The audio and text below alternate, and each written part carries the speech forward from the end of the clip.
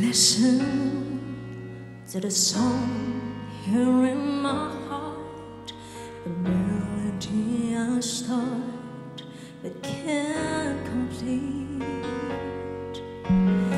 Listen to the sound from there where it's only beginning to find release.